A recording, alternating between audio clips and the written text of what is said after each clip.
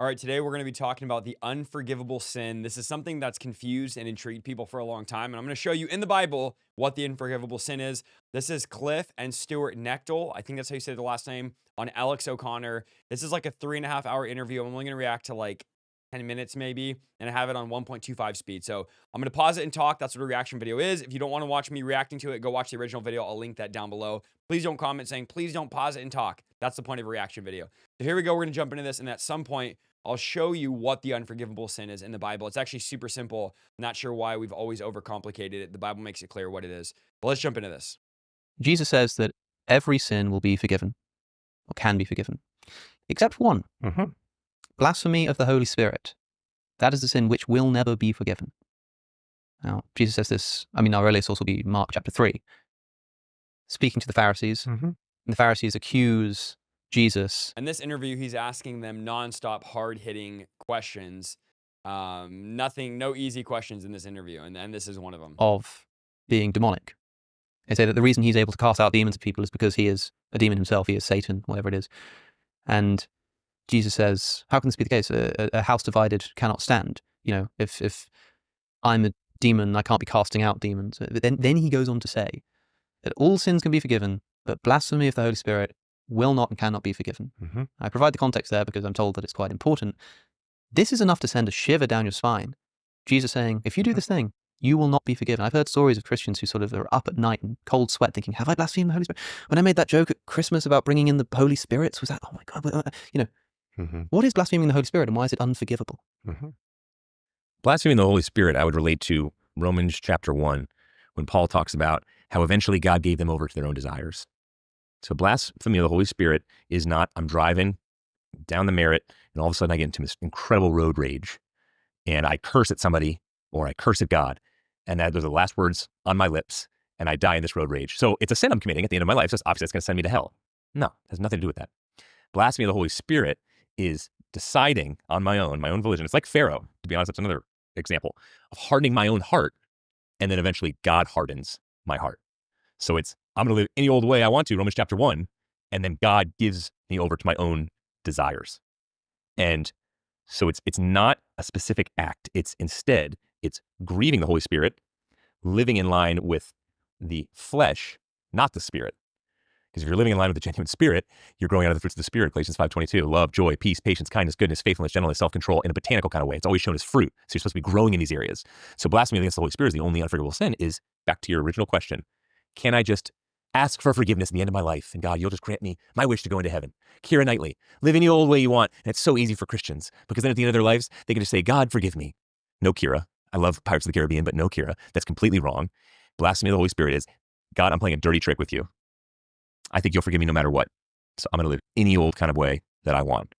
And then eventually God gives you over to those desires. Now, the, the, the thing He's going to push back and we'll react to the next like 10 minutes. But I want to, I think he's partially right. I just want to show you guys what the blasphemy of the Holy Spirit is. And the guy actually interviewing him kind of alluded to it earlier. It's actually super simple. This is Matthew chapter 12.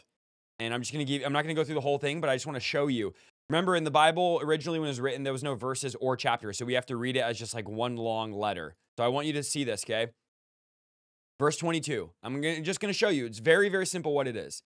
One was brought who was demon possessed, blind and mute, and he healed him, and the blind mute both spoke and saw.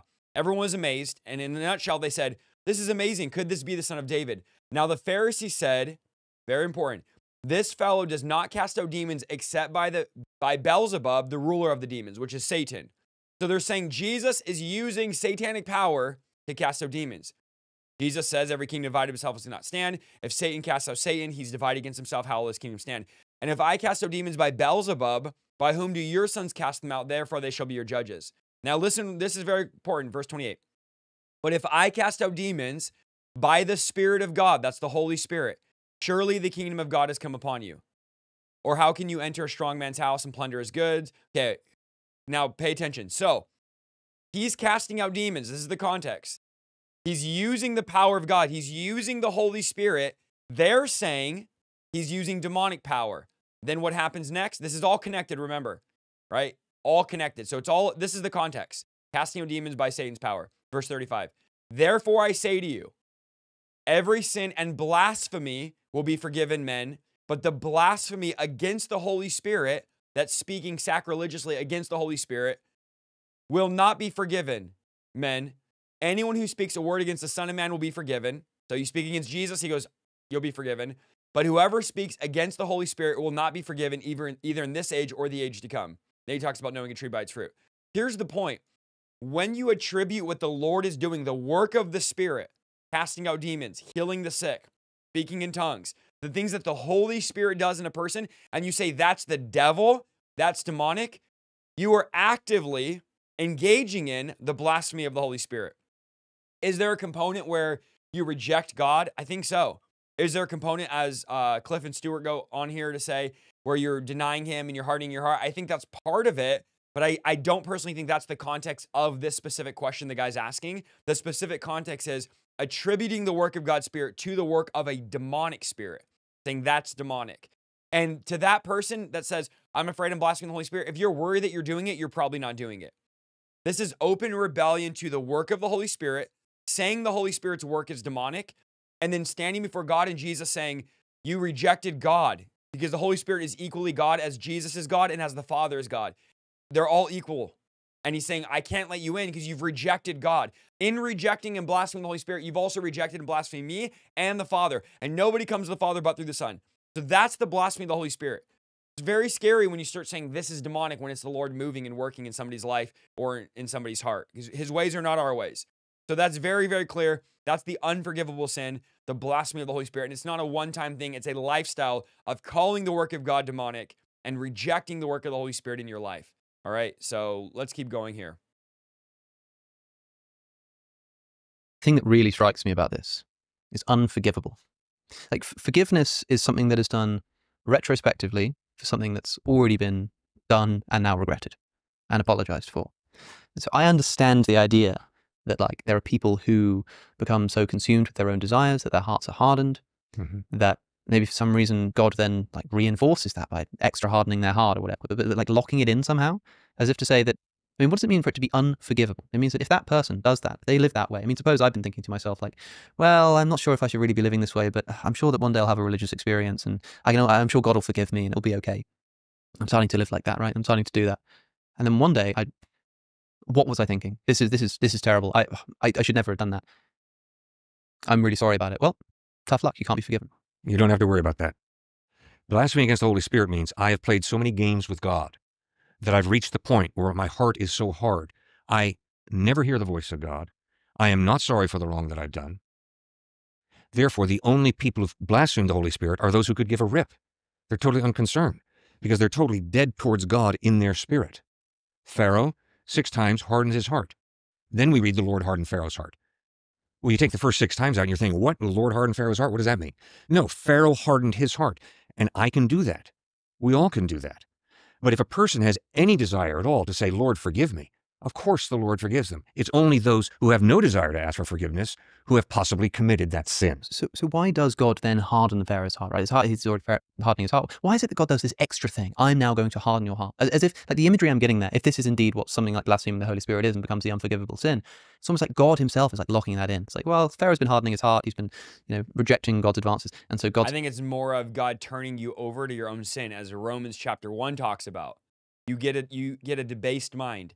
It's a scary place when you're in sin, hearing convicting sermons and preaching the word of God. And at one time in your life, you were convicted and you were challenged, and now you're unconcerned with your sin.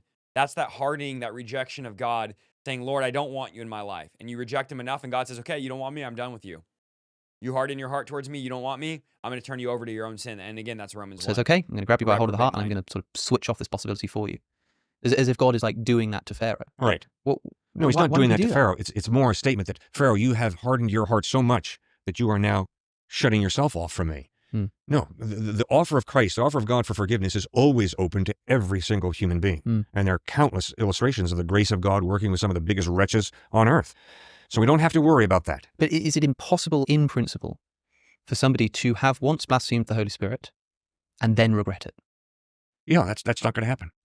Because when you blaspheme the Holy Spirit, you don't have the ability to repent. You don't have the ability to be sensitive towards God because you are so hardened, so separated from God eh, there's no hope for you. That, that, that sort of seems to make it worse to me. It's like, And it's interesting because I would say people that call the work of the Holy Spirit demonic, which are those that blaspheme the Holy Spirit, I don't know if I've ever met anybody or heard anybody who lives that life and then repents later. It seems to be that they always stay that way. They always stay that that's demonic. This is what God is doing is of the devil, which is so scary place to be. But I don't know that I've ever seen anybody, at least publicly or someone with a platform, that has gone back and said, I was wrong whether it's miracles, deliverance, speaking in tongues, words of wisdom, words of knowledge, words of prophecy, whatever work the Holy Spirit's doing, I was wrong. That isn't of the devil. And I repent. I don't know that I've ever seen that. These guys that do that have a hard heart. They're bitter, they're resentful, they're religious, they're like the Pharisees and Sadducees, and they live that way forever, and it's scary. But they will be accountable to God one day on judgment. or whatever I may have, because this is the thing is that, that you might say, well, well, look, you're, you hardened your heart. You did this. You Yeah. turned yourself away from God. And so, so now you're in a state where you can't even possibly come to repentance. And I would say, well, that seems a little unfair, you know? So, well, it's your fault you did it. But the whole point of Christianity is that, like, well, yeah, you did this. Yeah, you did that. You did that for years, but I'm still going to forgive you as long as you regret it. But you're telling me that there's something a person can do that makes it such that it is literally impossible for them even to want to repent, you know, let alone being forgiven for it. That, that seems like really difficult to square with the, with the sort of eternally forgiving God, you know? Like, we're talking about something that's unforgivable. When you say, well, if somebody dies in a state where their, where their heart is hardened to God, that's true of any sin. If you die in, in sin without repentance, you know, you're not going to be entered into the, you're not going to enter into the kingdom of heaven. To say that this is unforgivable, and you're, you're telling me now something like, well, they've done something to the extent that now it does not matter what they do, they will never be able to repent. It's a full lifestyle, though. It's just like in Matthew 25, when Jesus is talking about the sheep and the goats, he's saying, I never knew you, depart from me. Uh-huh. I never knew you, depart from me. The Pharisees, You can tell the guy interviewing them is super hungry for God. He just has the curse of certainty. Everything has to be exact, has to make sense to him. And you got to remember the Bible says his the Lord's ways are not our ways. So you'll never fully grasp or understand these principles. And we're going to go crazy trying to. Like explain eternity. You can't. Your mind's finite. So sometimes we have to just go his ways are not our ways and I just trust him. And I don't know. I don't I don't understand it. shiny on the outside with a cup, Yep. but completely rotten on the inside. Their father's the devil. Okay, Yeah. that's blasphemy against the Holy Spirit, where it's a hypocritical, hypocritical lifestyle all life long. But there's no way that those Pharisees could ever have snapped out of it and been like, I don't know what I was thinking. I was wrong. I regret it. I'm sorry, Lord. No, I- And again, Jesus wouldn't forgive them? we may disagree on this point, but Pharaoh, I think God judges Pharaoh. I, I think it was Pharaoh's free will at first, but then I think judgment came, Mm. and thank heaven it came. Pharaoh was a nasty, brutish guy, was he not? So, so Judgment Day, I'm looking forward to because I think I think judgment needs to happen. Um, at the same time, I'm not looking forward to it because I realize I've done wrong. Mm. But so, so for me, it's yes, God eventually judges, but I, I think you keep taking blasphemy against the Holy Spirit as like a one-time thing because you you started off this way. You, you started off making it sound like you're at a Christmas party, and all of a sudden you said the wrong thing against the Holy Yeah. Spirit and you're going to hell. Yeah. Well, that's radically different from what we're talking talking about. Well, we know Yeah. it's not that, right? But, but I I think there are things that you can do. I mean, all kinds of sin. Uh, You could be in a in an adulterous affair for ten years. I have a hard time fully grasping this principle, but it does seem to be that in the text of Matthew 15, it is a it is actually an action they do where it's they say they say this man is casting out demons by the devil's power. And then Jesus goes, That is unforgivable in this age or in the age to come. You saying that I'm using the devil's power to work miracles, I, it's just God decides. He makes the rules to all of this. And it's a it was like a one-time act or a one-time event and he says that's not forgivable.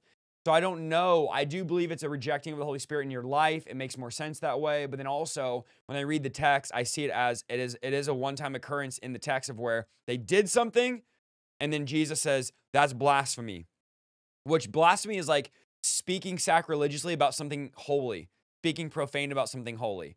And Jesus goes like, "You're this is the Holy Spirit's very holy. His name is literally holy. Spirit is what he is, but his name is actually holy. And you're saying he's unholy, you're saying he's unclean, and you're comparing him to the devil? Like that should strike fear in the heart of people. Now, people that do that we're, are going to watch this video. The guys online that do that saying, this is the devil, this is the devil, all these charismatics are the devil, all these pen, they're going to watch this video, they're going to scoff at me and say, that's not what it means. And they're going to laugh because their heart has already been hardened. They're already in a state of blasphemy. And they have, they have no fear watching this. They'll have no fear listening to this interview. They have no fear when they read Matthew 15. But if any of us have ever done that, there should be fear in our heart, for sure. years. It's something you do over 10 years. And then on, you know, the very next day, you could suddenly realize it was wrong, suddenly repent of it. And if, as long as you're genuine, you're forgiven. Mm-hmm. Right? You're telling me that there's something people can do Say not for- asking for forgiveness. But like that's, I mean, yeah. If, you don't, if i- if I steal your wallet and you say, Cliffe, I offer to forgive you, and I say, forgive me for what? I haven't done anything wrong. Oh no, Cliffe, you stole my wallet. Well, so what? Yeah. So, so then I say that what you're doing there is unforgivable, right? I, I'm not going to forgive you for what you're doing right now. And so then tomorrow, when you come to me and say, you know, yesterday when I was sort of like refusing to even acknowledge, I, I, I, I'm, I was wrong. I'm sorry about that. And say, hey, man, I already told you, I'm not forgiving you for that. Christ will always forgive the person who is repentant.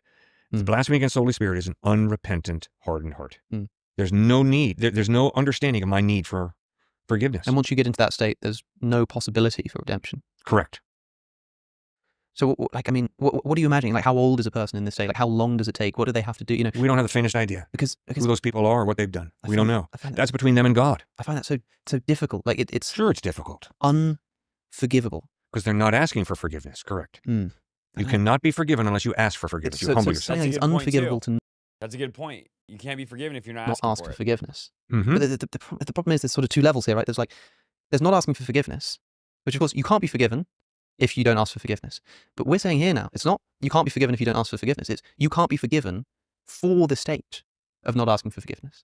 If not asking, if blaspheming the Holy Spirit is something like not asking for forgiveness, to say that blasphemy of the Holy Spirit is unforgivable is not to say that when you blaspheme the Holy Spirit, you know, you, you like you, you're not going like okay, you're not being forgiven right now because you're not apologizing. It's one thing to say you're not being forgiven for not apologizing. It's another thing to say that you will not be forgiven, like full stop ever, for the fact that right now you're unforgiven. You see what I'm saying?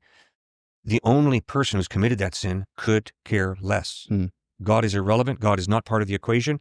My sin is not part of the equation. I'm totally shut off. It's a lifestyle, not a one time thing. Right. Because it sounds like you keep picking it back to a one time thing, but we're saying it's a full lifestyle. Sure, age of accountability, you bring in 12 years old. Mm. Mm, so yeah, after right. 12, maybe. But it's the sheep and the goats, Matthew 25. I understand it's a terrifying passage. We've had some students come to us crying. I, I get it. Mhm. So we need safe spaces for them. But I think f- for us, it's a matter of what are your motives? When I am sitting in an Uber with a Hindu, going to a temple with a Hindu, and sitting in an Uber with a Muslim, I hear very similar things when it comes to I have to do X, Y, and Z to get out of this caste in order to get out of a certain cycle. I have to do X, Y, and Z for my heart to be lighter than a feather to get to paradise. It's all me, me, me. I have to do these things. Mhm. Versus I'm doing these things, but what is my true motive? Motives don't matter here with these two. It's just you have to do good things. Here it's a heart motive in the sense of who am I doing it for? Why am I doing it, God? Am I genuine in my relationship with you? Mm. Am I genuinely loving you? Am I genuinely loving others? Or is this simply just a, a sick game or it's a hypocritical lifestyle? And I think we all know, let's be real, I think we all know when we're living in a hypocritical kind of way. And the answer is if you if you do that for long enough, then you just enter into a state where now, for the rest of your life, no matter what you do, No, not no matter what you do. If you repent, you'll be forgiven. but these people can't repent, right? Because they blaspheme the Holy Spirit. It's impossible for them to repent. They have so hardened their hearts that they have no interest in repenting. Yeah, I think the thing is they don't repent. That's what Cliffe is trying to say is they don't repent. If you have a slight interest in repenting, Christ will forgive you. Uh, Do you think it's possible to be in a state where you have no interest in repentance for 10 years and then in the 11th year regain it somehow? Good. Sure, that happens to many people. Yeah. So they, those people didn't blaspheme the Holy Spirit for 10 No. years? And They were sinners, Hmm. but they chose to repent, and that's that's well, that's the thief on the cross. Hmm. The thief on the cross. Just remember him. Yeah. I mean, I, I must admit, it's, it's one of the most theological, theologically troubling things. I mean, there's there's troubling and then there's troubling, right? Like I find the Old Testament passages Mm-hmm. troubling because I could tell. they're kind of they're kind of I'll link this video down below. It's definitely an interesting conversation. I would like to hear your guys' thoughts as well on the blasphemy of the Holy Spirit. It seems very, very clear in scripture to me what it is in Matthew 15. It's attributing the work of God to Satan. It's when you say, when the Holy Spirit's doing something, that must be the devil. And in turn, you're closing yourself off to God. You're not going to repent and turn from your ways when you're acknowledging that what God is doing is demonic. You're just completely twisted and perverting your thinking. I don't know that I've ever seen anybody who's in that lifestyle blaspheming the Holy Spirit ever repent. Maybe they have. I don't know. I don't know. And I don't, I don't think any of us know exactly. We'll ever know exactly until we stand before God on what it is. But I would say if you're worried that you've done it, you probably haven't. Receive the Holy Spirit. Let Him move in your life. Let me know you guys think about this video. My book just came out. Pre-order in the description. How to Cast Out Demons. Interesting. We're talking about casting out demons in the text. This book's all about casting out demons, and it has that Matthew 15 in the book. We're live Monday as I knock stuff over. We're live Monday, Tuesday at six o'clock, and then Thursday at noon. I'll go to our live tab. We have tons of teaching and videos, hundreds of hours of preaching. The video tab is like just reactions and some sermons. Go to the live tab on the page. That's where everything you need is, is at. All the teachings, all the work we put in. The live get the least amount of views, but the most amount of work. So go check those out, and we'll see you guys in the next video. God bless.